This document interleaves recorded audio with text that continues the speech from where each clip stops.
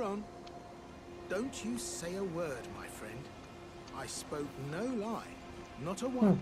Yeah. You were trapped inside a volcano. No mistake. But the Erdtree was right outside. You just had to spring yourself out. Now, I'm willing to admit, I could have been more clear. But I did not lie. And you're perfectly unscathed.